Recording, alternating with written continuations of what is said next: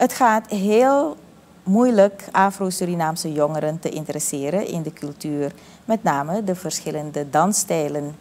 Cultuurorganisatie NAX heeft een dansconferentie georganiseerd waarmee ze de bewustwording en interesse probeert op te wekken bij vooral de jongeren.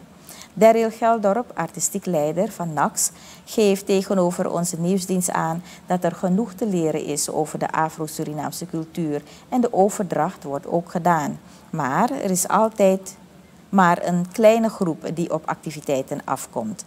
Geldorp legt uit waarom NAX zo een dansconferentie organiseert.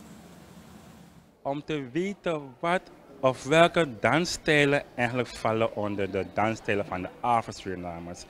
Want als ik nu vraag welke zijn Afro-Surinaamse dansstijlen, dan ga je misschien horen Kaseko Kawina.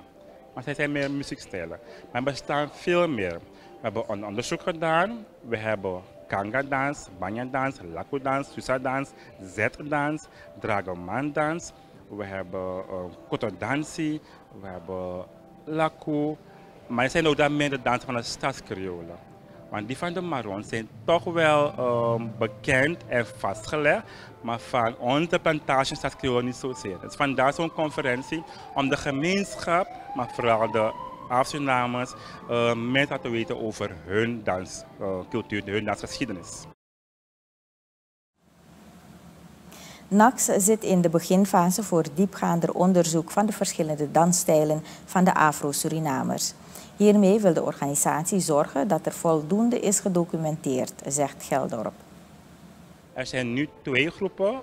Eén uh, groep die gaat onderzoeken de Banya-dans, alhoewel er al is uh, vastgelegd door uh, Trudy Guda. Zij heeft een boek geschreven, Drie Eeuwen Banya, maar dat is tot een bepaalde tijdperk. Nu gaan we vanaf haar afbakening verder tot nu. Wat is de ontwikkeling van de Banya-dans nu? Dat doen we. En dan ook setdans. Want setdans raakt een beetje vergeten nu. En veel mensen kennen setdans niet. Vooral jongeren kennen setdans helemaal niet. Dus wij gaan onderzoeken wat is de geschiedenis van setdans? Hoe komen we onze mensen dans dansen? Het was eerst een, een de dans van de elite mensen, om zo te zeggen. Maar, maar later dansen de Creolen. Dat gaan we dan onderzoeken en kijken wat de ontwikkeling is vanaf toen tot nu toe. Dus als je jongeren wil hebben en je hebt Afrobeat, heb je dat zeker.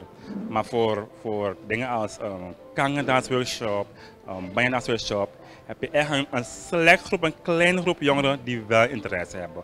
Maar de overgrote van de jongeren hebben meer uh, aandacht of interesse in Afrobeat, Afrohouse, hip-hop.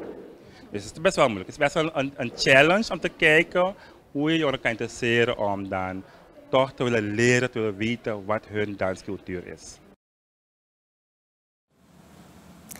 De dansconferentie wordt morgen, zondag 29 oktober, afgesloten, waarna NAX zal evalueren en nagaan of het een jaarlijks terugkerend evenement wordt of een tweejaarlijkse.